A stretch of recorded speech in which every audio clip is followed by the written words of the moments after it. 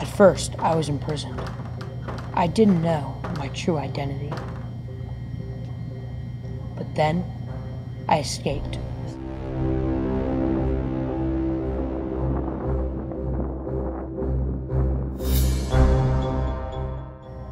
I was found, passed out, and taken to this place, the Alacran Estates.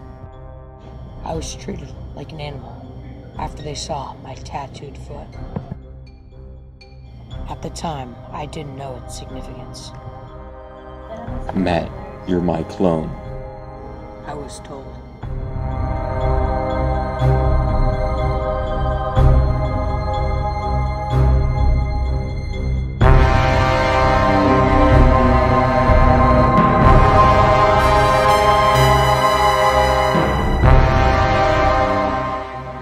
It's time.